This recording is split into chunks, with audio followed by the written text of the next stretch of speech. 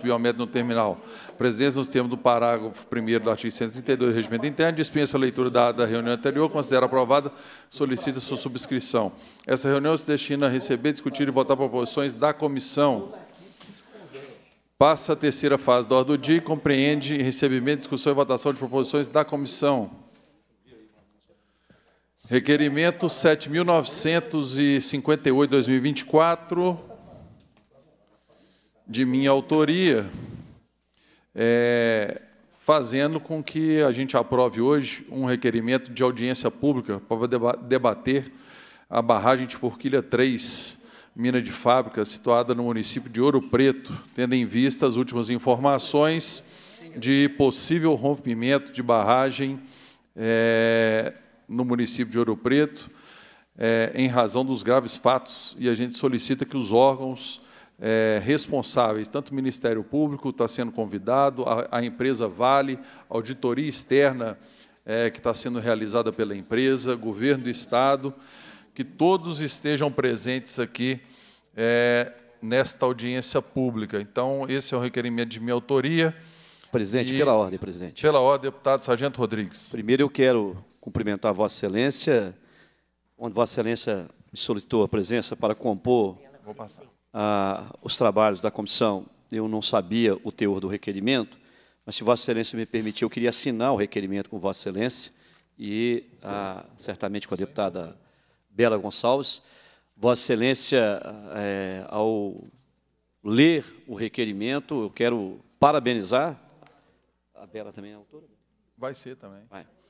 É, parabenizar Vossa Excelência, a deputada Bela Gonçalves, pela, é, eu não vou falar brilhante iniciativa, pela necessária é, iniciativa, se eu comentava aqui fora dos microfones com a deputada Bela Gonçalves, se a Vale veio a público, através da imprensa, dizer que a barragem está, é, eu diria, no chamado perículo em mora, ou seja, se ela está prestes a se romper, se eles estão assumindo isso publicamente, deputada Bela, é porque a situação é muito grave.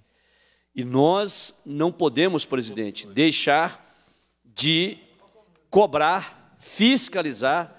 Se Vossa Excelência não colocou ainda no requerimento, eu apresento, inclusive, se Vossa Excelência não colocou, eu apresento a emenda para que seja chamada também a Agência Nacional. Sim, está também. A AMN, é, porque essa é uma agência federal também que não fiscaliza ninguém, fiscaliza ninguém, em governo nenhum, e aqui eu não quero, é, não vou polemizar, obviamente, com uma questão ideológica, mas o fato é, nós não podemos deixar, deputado Tito, presidente, que ocorra um novo assassinato em massa, como aconteceu no dia 25 de janeiro de 2019. Eu confesso a Vossa Excelência que eu estive lá no dia 26.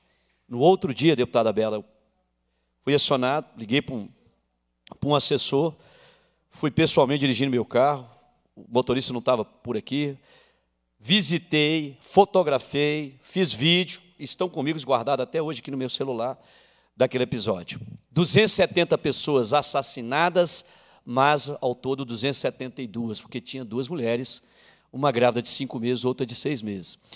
É, devastou aquela região toda, é, uma, diria, uma, um estrago devastador do ponto de vista biológico, do, é, é biológico, do ponto de vista ambiental, assim, é, um estrago social, ambiental, tudo, tudo, tudo que poderia acontecer. E afirmo, fui autor da CPI, deputada Bela, Vossa Excelência pegar lá, resgatar o processo, você vai ver que 74 dos 77 parlamentares assinaram aquela CPI. Foi a primeira CPI com o número de assinaturas desse jeito. Outros colegas deputados tem, iniciaram também a, coleta de requerimento, mas pela nossa experiência nós fomos mais rápido no, no protocolo é, e protocolamos. Mas o fato é, havia outros parlamentares também com a mesma disposição e eu participei, deputada Bela, de todos os depoimentos, de todos os interrogatórios. A Vale, é, a Vale naquele episódio, cometeu, a empresa Vale, os seus dirigentes, é, com o revestido CNPJ, cometeram o maior assassinato em massa que esse país já vivenciou, e sobre todos os aspectos.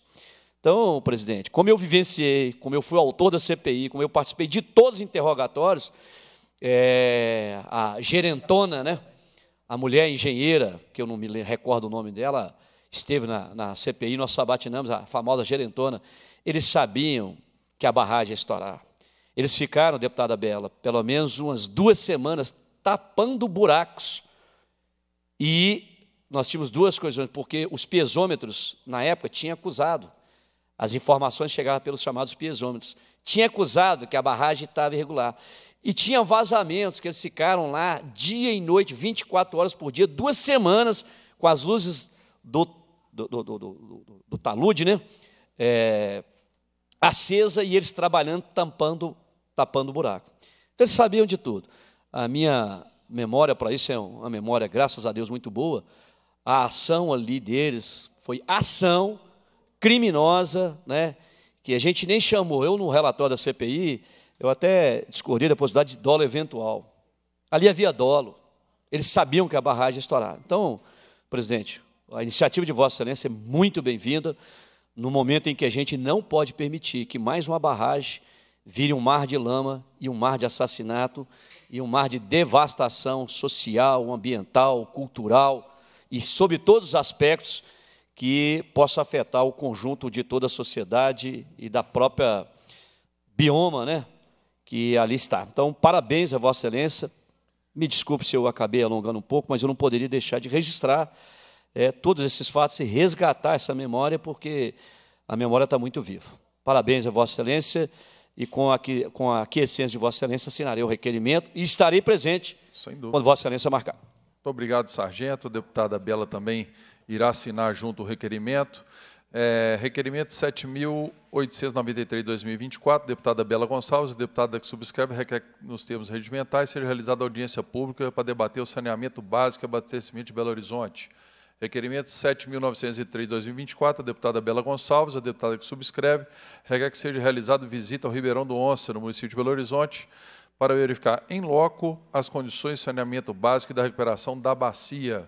Pela ordem, presidente. Pela ordem, deputada Bela Gonçalves. É, eu pensei melhor sobre esse requerimento e eu quero estender ele, na verdade, a um requerimento de visita técnica aos sistemas de drenagem é, aqui de Belo Horizonte.